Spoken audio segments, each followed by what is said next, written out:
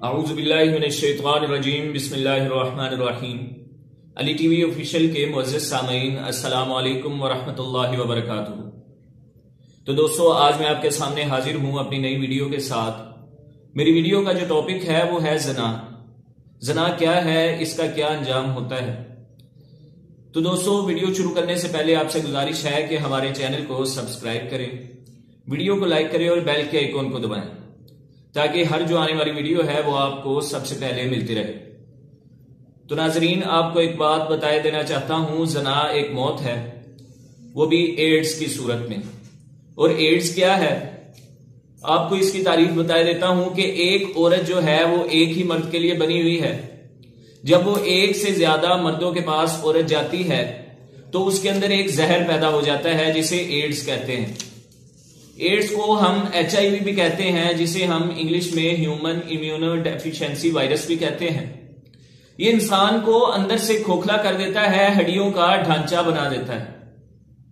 تو دوستو، اس کے نقصانات بھی ہیں۔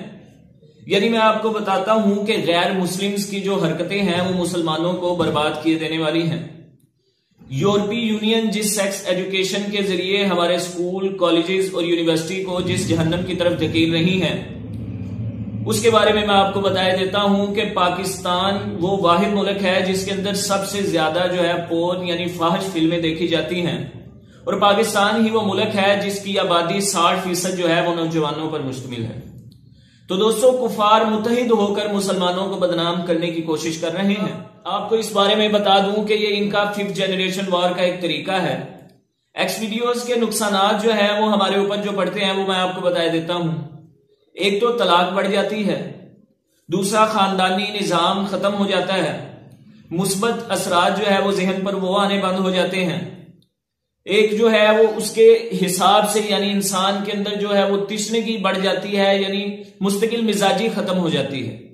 اور انسان جو ہے وہ کم عمر میں، کم عمری میں ہی بالغ ہونا شروع ہو جاتا ہے۔ ہم سوشل میڈیا کے ذریعے، اگر ہم سوشل میڈیا کے ذریعے موبائل لوڈ پر ٹیکس ختم کروا سکتے ہیں اگر ہم سوشل میڈیا کے ذریعے زینب کو انصاف دلوا سکتے ہیں، ڈیم بنوا سکتے ہیں، تو کیوں نہ ہم پاکستان کے اندر تمام پون ویب سائٹس کو بند بھی کروا سکتے ہیں۔